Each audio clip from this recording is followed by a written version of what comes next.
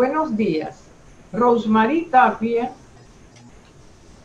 eh, coordinadora de Siembras de Fuego, Letras de Fuego, El Círculo, es una nueva, una nueva pasión que tenemos todos los lectores porque es un círculo virtual por Zoom con muchos de los integrantes del círculo Guillermo Andreve, del profesor Ricardo Arturo Ríos Torres. No nos quisimos quedar sin compartir nuestras lecturas. Entonces, eh, yo voy a presentar a la coordinadora de este mes, nuestra querida compañera Eva Montilla. Buenos días, muchísimas gracias, estimada Rose. Y bienvenidas todas las que empezamos, pero sabemos que ya van a venir el resto.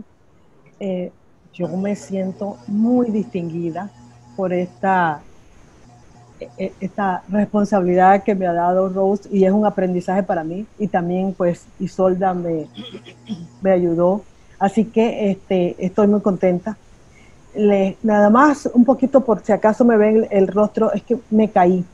Y entonces ahí todavía ya ya la herida me está sanando, pero ahí se nota todavía. Es por eso que tengo esta cicatriz. Y empezando en esta oportunidad, les agradecemos que mantengan sus micrófonos en silencio, aunque ya yo sé que Rose los tiene, porque a veces se cuelan ruido. Eh, iniciamos con voluntaria Isabel, quien, quien hace su primera lectura. Ah, primero les tengo que decir, tenemos cuatro minutos porque el tiempo corre, es muy rápido, no tenemos todo el tiempo como cuando nos reuníamos presencialmente, así que por favor, solo un libro al principio, si tienen otro, al final cuando terminamos la vuelta. Así le damos la oportunidad a más personas que participen. Gracias, Isabel. No se oye. Rose, Isabel.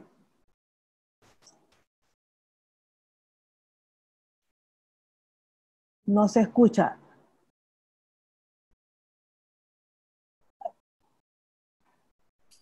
Yo creo que te puedes eh, eh, tú misma poner, quitar el mute, quitar el, el, sonido, eh, poner el... ¿Y ahora me escuchan? Ahora sí, ya. Ok. buenos días, tenga... Ya, ya, ya lo compuse. Estela, Rosmarie, Eva, ¿cómo están? Eh, es un placer nuevamente participar, como dijo Rosmarie, en, eh, este círculo de lectura Guillermo Andreve. Eh, quiero nada más, tengo tres libros que he leído prácticamente, pero voy a presentar este, que se llama Recuerdos para desandar de Aristides Rollo que hace el recuento él de toda su, vida, eh, desde sus inicios, su formación de sus padres.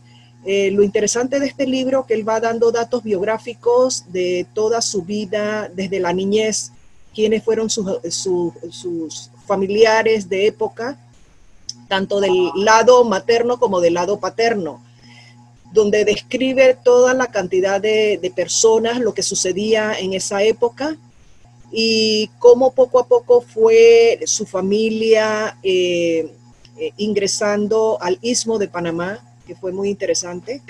Eh, es un libro que, que, también se lo dedicó a su fallecida esposa Adela, en lo que al final, la mitad del libro para atrás, eh, hace todo el recuento de ella, de su familia, de cómo vivieron, de cómo fueron, eh, él cómo fue ingresando a la vida pública también en las diferentes etapas de los diferentes cargos que le dieron.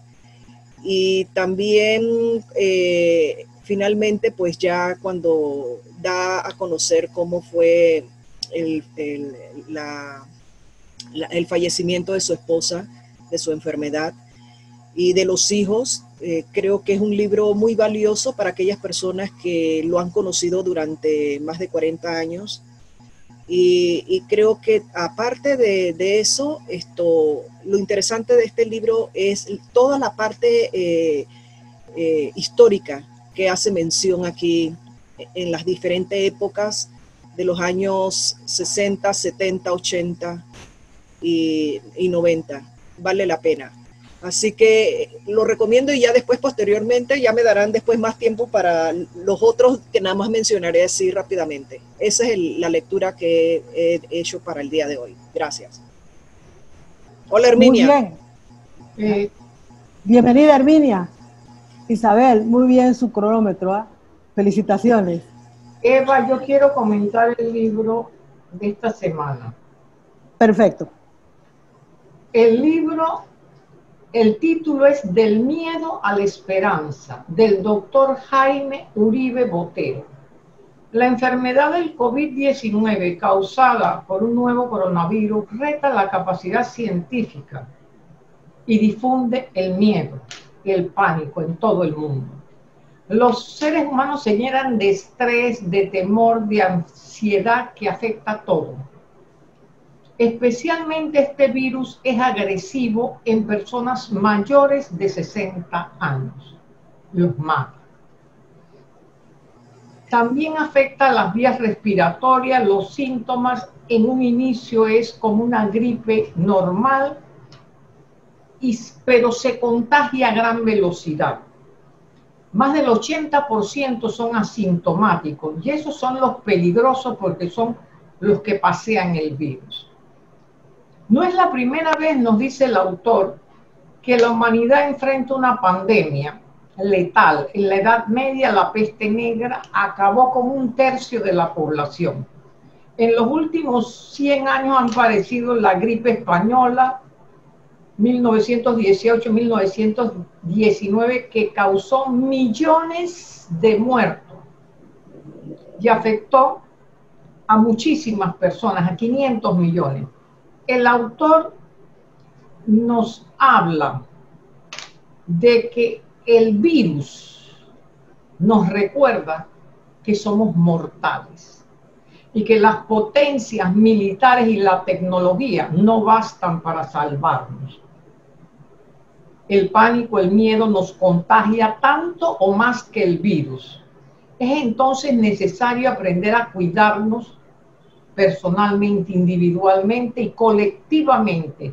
Respetar y valorar la vida, ser solidario, dejar el orgullo, las ansias de poder, la acumulación de las riquezas, de lujo, la ostentación, la indiferencia.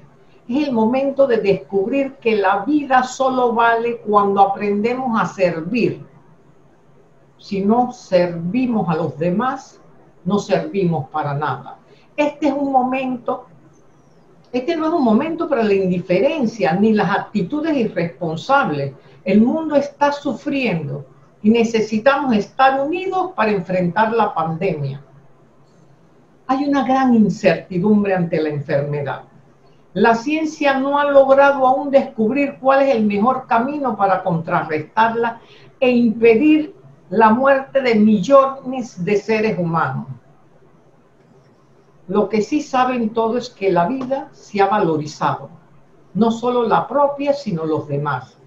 Del miedo a la esperanza es un ensayo que analiza, describe el presente y observa el futuro, los cambios que tendrá la sociedad.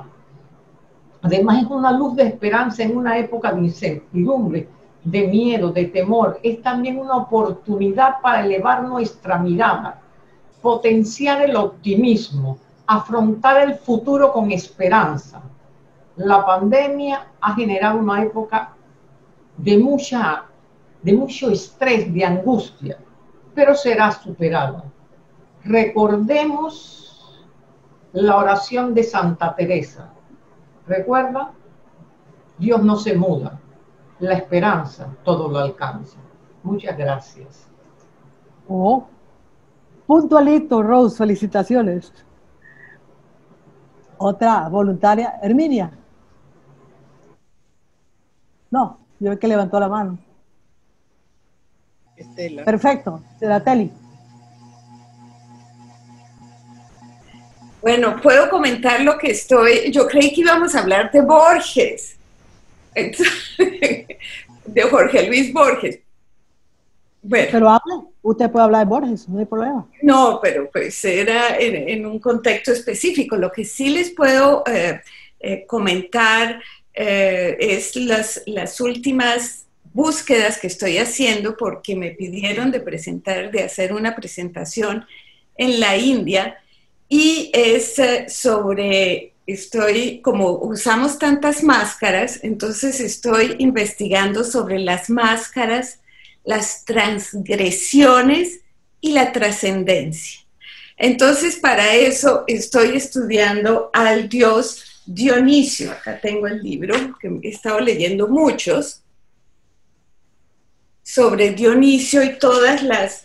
Uf, porque esto viene desde, desde hace 30, desde hace 50 siglos. O sea, que estoy haciendo una investigación que tiene que ver con 50 siglos, o sea, 30 siglos más allá y 20 de 21 de, ahora, son 50 siglos que estoy mirando cosas, tenaz, porque es en Creta, en Grecia, es en, Mesopotamia, es en Egipto y es la India. Estoy comparando esos distintos sitios y el uso de la máscara y cómo esto puede llevar, y cómo esto también en todas partes ha habido la máscara como que, permite hacer transgresiones, como en, en, los carnavales, que cuando la gente se pone y se disfraza, como que se lanzan a, hacer cosas que normalmente no hacen, o en, o en Venecia, etc. Entonces, esa idea es la que estoy buscando, pero en la antigüedad y cómo entonces estoy en esas. Eso estoy muy metida en, en, ese asunto. Y sobre Borges, lo, pues lo único, no lo conocí, pero vivía en Suiza y, y un amigo mío le hizo una entrevista y pues eso es lo que recuerdo de, ya era bien viejito y siempre quedó como triste de que no se le dio el premio Nobel y a mí eso también me parece terrible que a un personaje con semejante creatividad y semejante belleza de, libros nunca obtuvo el premio Nobel. Esa era mi, eso es lo que comparto con, ustedes. Muy bien.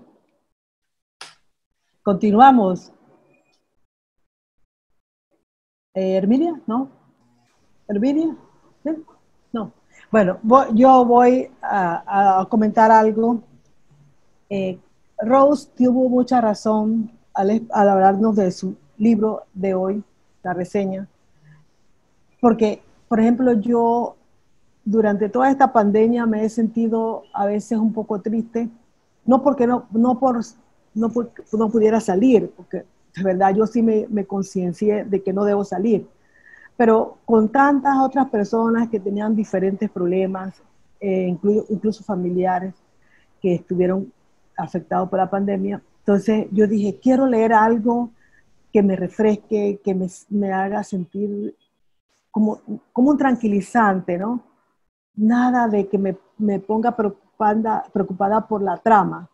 Así que entonces me empecé a buscar y leí un libro de León Tolstoy que la verdad no lo había leído y gracias a unos, unas recomendaciones que me obsequió Rose hace un par de años, lo, lo, lo rebusqué y lo encontré y es La tormenta de nieve. Y, y les digo que creo que fue una excelente elección que hice porque en esos momentos de, de, angustia que estábamos viviendo, no solamente en Panamá, sino a nivel mundial, leer ese libro que empieza a describir desde el momento de que una persona se siente en una estación para tomar un eh, medio de transporte que lo llevara a otro lugar, un poco lejano de donde estaba. Eh, e-, es interesante porque nos retrata cómo era la vida de un siglo atrás o principio del siglo XX de cómo se transportaba la gente. Eh, probablemente todavía exista en esos lugares muy lejanos de, Rusia o de otros países que están muy cerca de, los polos, pero él venía en un trineo y resulta que ah, nevó. Primero la noche estaba así, un poco oscura y eso, pero no había caído nieve, pero después en el trayecto nevó. Y eh, bueno, ellos están bien o estaban en esos momentos bien organizados a llevar su ropa especial, todo esto, porque prácticamente estaban a la intemperie. Y ellos, él, él hace todo el recuento la travesía, cómo era la noche oscura, los caballos que se asustaban, porque también pues había otros animales, eh, vamos a decir, del campo por allí y se asustaban y cómo explica la nevada, cómo él va sintiendo el frío. Entonces, esa, esa, esa explicación creó como una empatía entre la lectora, que era yo, y el autor, Tolstoy, y me encantó porque yo sentí el frío de la nieve, vi la nieve en toda su forma como él la redactó. Y no, no explico un poco de, del contenido porque yo sé que la mayoría del grupo pues lo ha leído y, no es como volver, sino yo quería, lo que quería compartir con ustedes o que quiero compartir con ustedes es ese momento de cómo uno se siente cuando el autor explica tan bien la trama que uno siente que está adentro.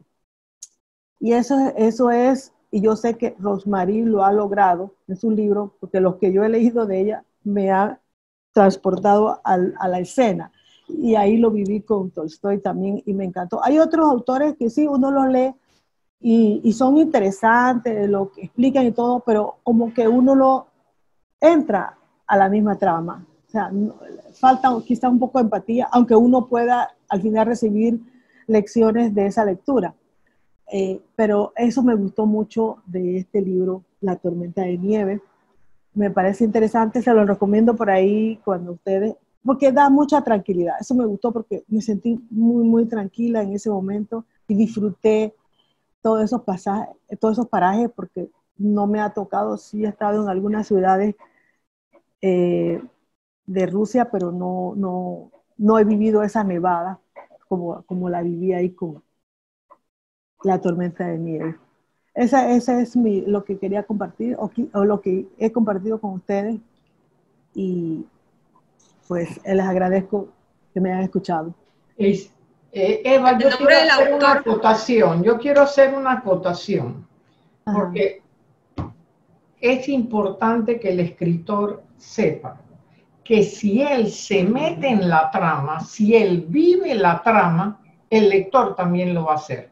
Fíjate que tú lees innumerables libros y no siempre tú encuentras esa característica. Yo me acuerdo en Roberto por el buen camino, una chica me dijo, yo sentí que yo iba en el carro, que me estaban secuestrando a mí también.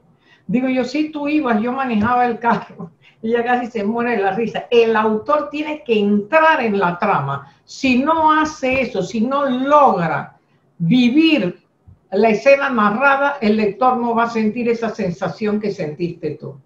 Eso era lo que quería acotar. Gracias, es así, de verdad que sí. ¿Cuál era el nombre del autor, Eva? León Tolstoy. León Tolstoy. Te quería decir que si algún día quieres vivir esa experiencia del trineo en la nieve, en Rusia yo no creo que todavía, pero en, en uh, yo la, la, viví en los, en los Alpes, en Austria, todavía en las estaciones de nieve, lo hacen para los turistas, ¿no? Porque es muy, muy rico y muy especial. Entonces uno va en su trineito con los caballos que hacen clink, clink, clink.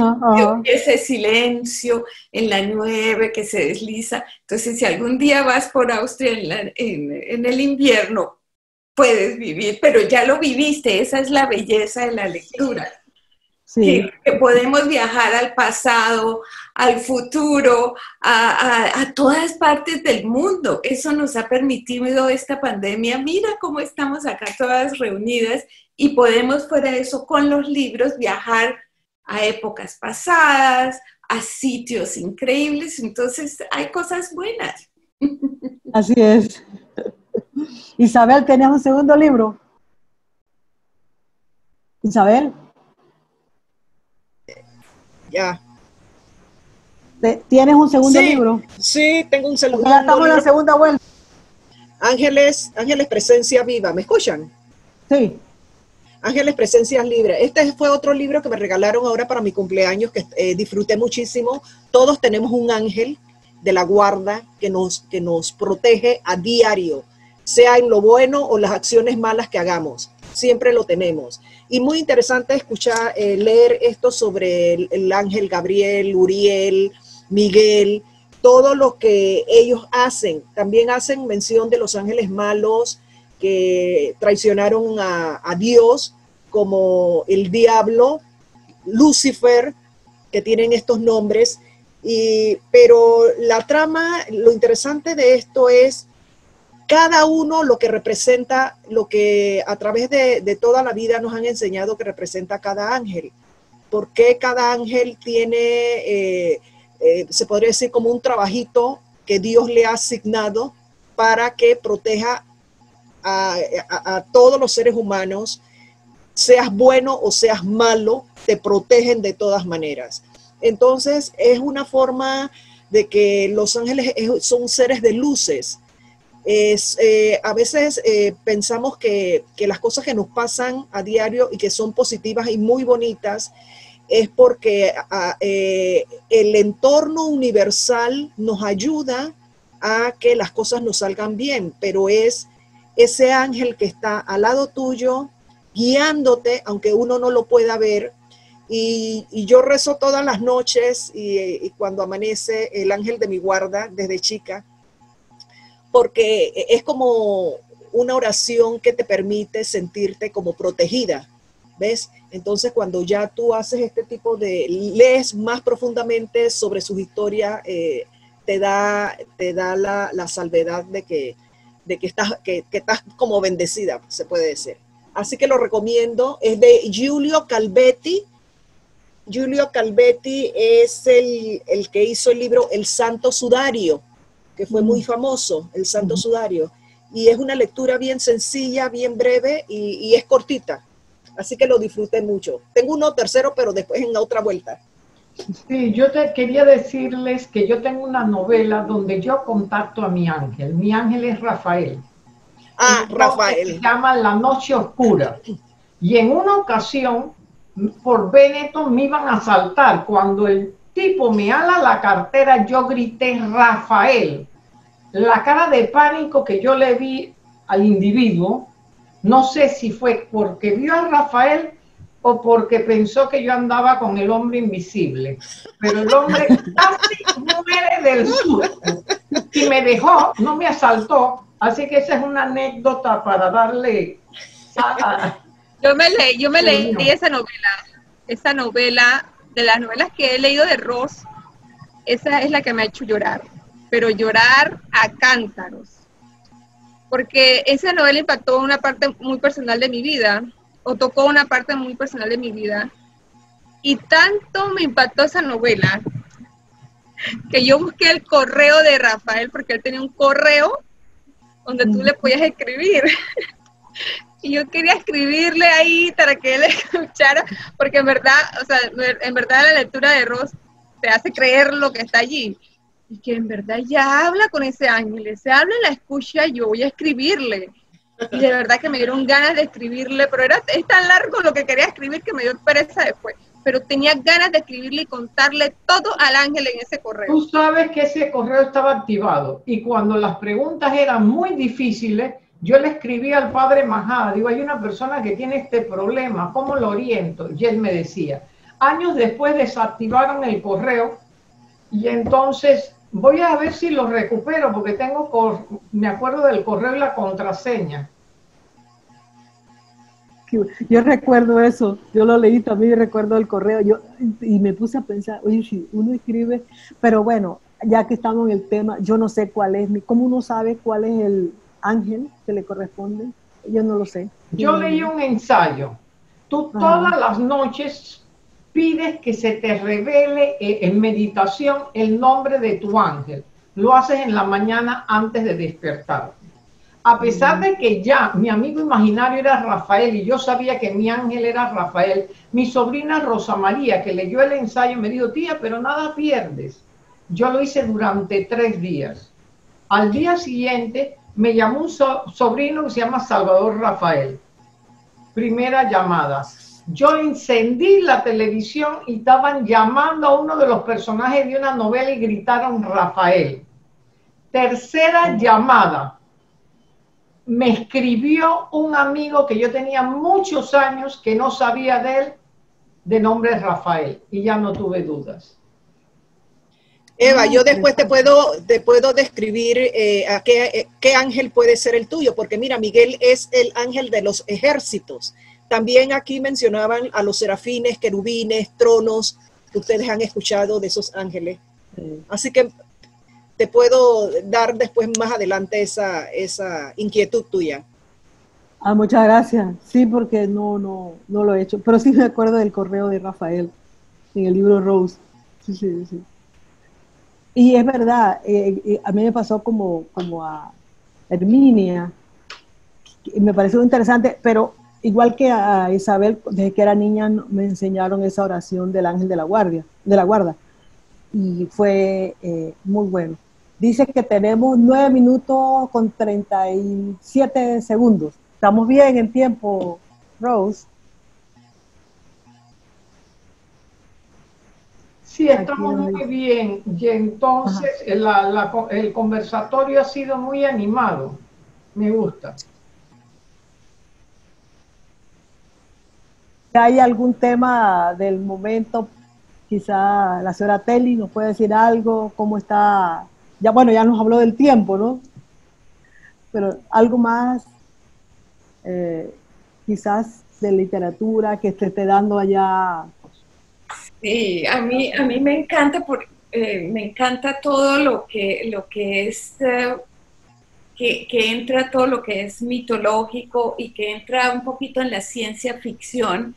Y me gusta la parte, obviamente estoy muy unida con la India, entonces ustedes hablan de del ángel, pero pues yo inmediatamente pienso lo que se traduce con, porque estas energías pues tienen distintos nombres en distintas partes, pero es la misma idea de las protecciones que, con seguridad tenemos. Entonces se pueden llamar como las querramos llamar, pues con nuestro lenguaje, si es Rafael o si es Miguel, o si es, pero esas energías, esa energía de Miguel, de, de, matar al, dragón, esa me encanta, porque es matar el demonio, las, las cosas negativas que están al lado de nosotros.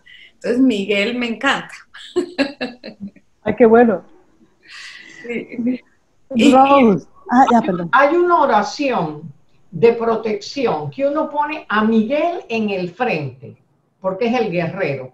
Rafael, cuida mis espaldas y cúbreme con tu ala. Uriel el lado derecho, Gabriel el lado izquierdo. Cuando uno sale a un lugar peligroso, uno se debe llevar protegido por los cuatro arcángeles. Bueno, yo creo que entonces fue Rafael el que me sostuvo. Cuando yo tenía 15 años, yo tengo una experiencia que siempre se la cuento a mi hijo. Yo estaba lavando un piso de baldosa y yo tenía un cubo de esos grandes de pintura, los más grandes que hay. Lo tenía cargado en agua. Y yo, yo lo tenía encima porque no podía ponerlo así. Lo llevaba como quien dice, como quien carga un bebé. Y eso fue una fracción de segundos. Mi pie se resbala. Yo siento cuando mi pie se resbala. Y físicamente yo tenía que haber caído porque si tú llevas un peso, si tú te resbalas y tú llevas un peso, por gravedad ese peso te va a impulsar para atrás. Vas a perder el equilibrio y te vas a caer. Así que yo en milisegundos yo me vi caída, partida en la cadera, quién sabe qué, pero yo sentí literalmente que dos manos me sostuvieron por la espalda. Yo la sentí, o sea, yo sentí la energía cuando me hizo así y no me caí. Porque yo no podía, o sea, yo al resbalarme, es mentira que yo voy a volver al impulso. Pues no, se puede. Y yo sentí que algo me impulsó y no me caí. Buena experiencia. Muy linda historia, muy linda. Bueno, Rose, yo sí ¿cuándo- quería de- dejarles un comentario ya que hay tiempo. no he podido leer. Son 51 Eh, minutos. eh, Segundos. Sí, ya vi, ya vi tiempo. No he podido leer. Eh, Ross es testigo de eso. He estado investigando muchas cosas con referencia al coronavirus. Eh, también estuve, hice también hice una propuesta. Estoy tocando puertas para ver si de alguna manera alguna institución pública sanitaria ve la propuesta y se hace realidad.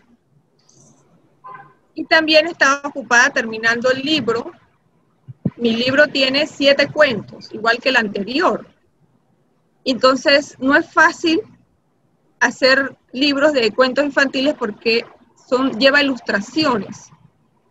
Entonces, si un libro, porque yo veía las presentaciones en la feria del libro de personas que presentaban su libro de un cuento.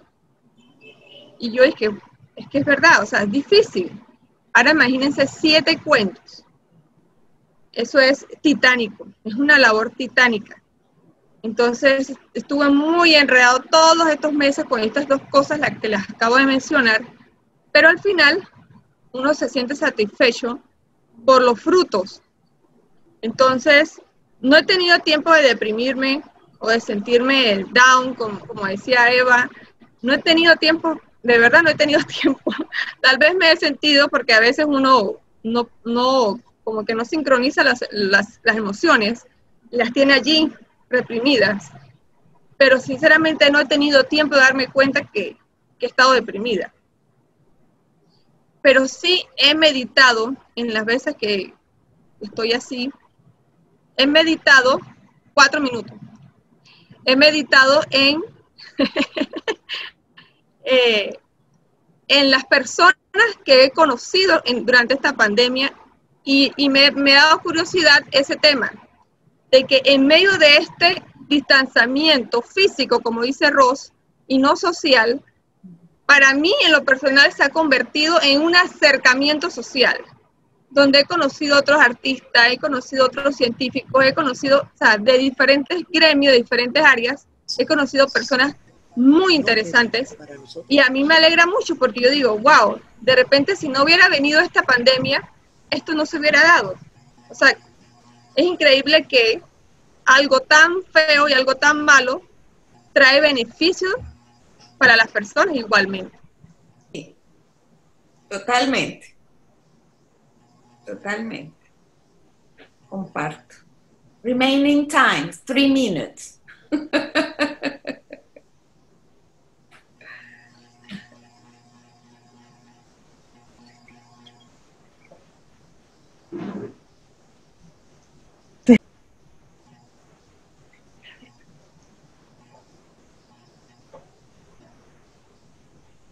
Ya lo reactivé. Sí, Sí, allá.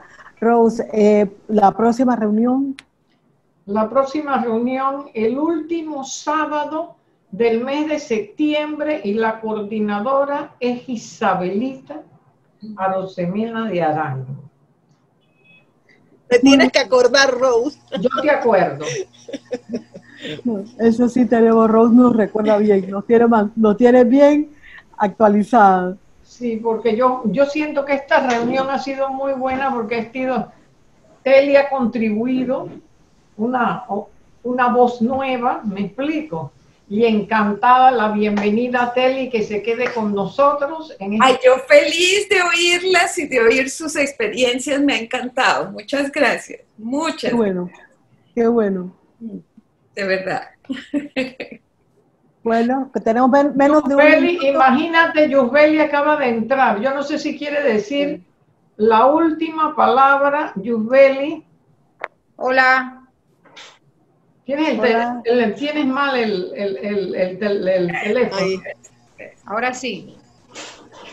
Llegué a tiempo. Sí. Sí, tienes un minuto, así es que trata de...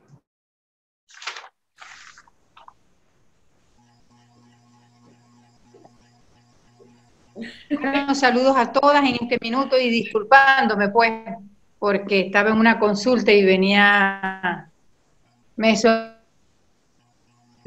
estaba muy interesada en compartir con ustedes el día de hoy. Y bueno, tenía algo para Ross, pero que ha estado de aniversario, pero no me da chance y será para la próxima. Happy birthday. ¡Feliz cumpleaños! 20 años de, de escritora. Ah, ya, 20 años de escritora, ya. Ay, qué bueno. Wow. Sí, ella está celebrando sus 20 años de, como escritora. Así es. Bueno, yo también. Yo comencé a escribir en el 2000. Ah, bueno, entonces somos mellizas. Sí, que no se publicó en literarias. Qué bueno. Sí, ya Qué tenía canas. Ya tenía-. Buenos días. Muchísimas gracias.